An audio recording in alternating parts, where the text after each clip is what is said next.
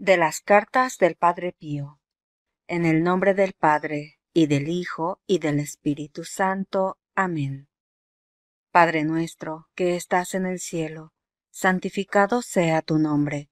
Venga a nosotros tu reino, hágase tu voluntad en la tierra como en el cielo. Danos hoy nuestro pan de cada día. Perdona nuestras ofensas, como también nosotros perdonamos a los que nos ofenden no nos dejes caer en tentación, y líbranos del mal. Amén. Oración del Padre Pío al ángel de la guarda.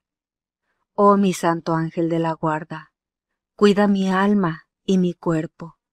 Ilumina mi mente para que pueda conocer mejor al Señor mi Dios y amarlo con todo el corazón. Vigílame cuando rezo, para que no ceda a las distracciones de la vida. Sosténme con tus consejos, para vivir como un buen cristiano y ayúdame a cumplir las obras de generosidad. Defiéndeme de los engaños del maligno y socórreme durante las tentaciones, para que pueda vencer en la lucha contra el mal. Oh mi querido ángel de la guarda, recito esta oración para pedirte que permanezcas siempre a mi lado y para pedirte que no ceses nunca de ser mi ángel de la guarda hasta que yo sea llamado al recinto del Señor, donde adoraremos juntos por toda la eternidad a Dios nuestro Señor. Espíritu Santo, fuente de luz, ilumínanos. San Pablo nos advierte que los que son verdaderos cristianos han crucificado su carne con los vicios y las concupiscencias. De la enseñanza de este santo apóstol se deduce que quien quiere ser verdadero cristiano, es decir, quien vive con el Espíritu de Jesucristo, debe mortificar su carne, no por otra finalidad, sino por vocación a Jesús, quien por amor a nosotros quiso mortificar todos sus miembros en la cruz. Esa mortificación debe ser estable, firme, constante y que dure toda la vida. Más aún, el perfecto cristiano no debe contentarse con una mortificación rígida solo en apariencia, sino que debe ser dolorosa. Así debe llevarse a cabo la mortificación de la carne, ya que el apóstol, no sin motivo, la llama crucifixión. Pero alguien podría contradecirnos.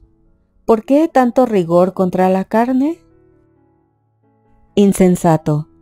Si reflexionaras atentamente en lo que dices, te darías cuenta de que todos los males que padece tu alma provienen de no haber sabido y de no haber querido mortificar como se debía tu carne. Si quieres curarte en lo hondo, en la raíz, es necesario dominar, crucificar la carne, porque es ella la raíz de todos los males. El apóstol añade además que a la crucifixión de la carne va unida la crucifixión de los vicios y de las concupiscencias.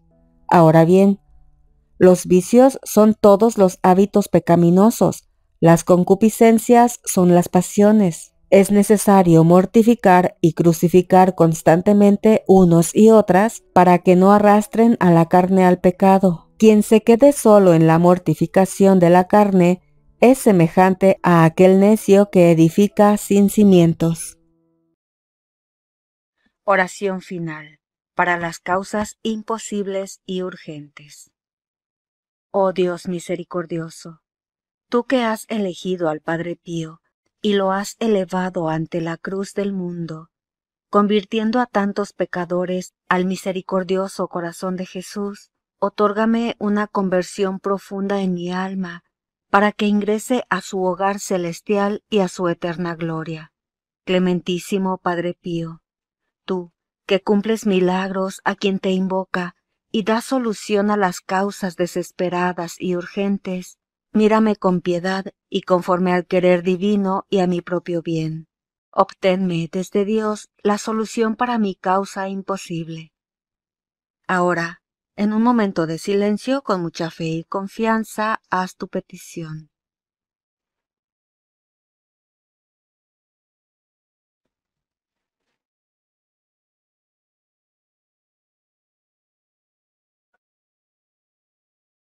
Padre Pío, lleno de bondad y clemencia, a ti, Dirijo esta oración para las causas imposibles y desesperadas, implorando tu potente intercesión. Socórreme pronto y no rechaces mi pedido, pues tú posees el privilegio de ayudar a quienes han perdido casi toda esperanza.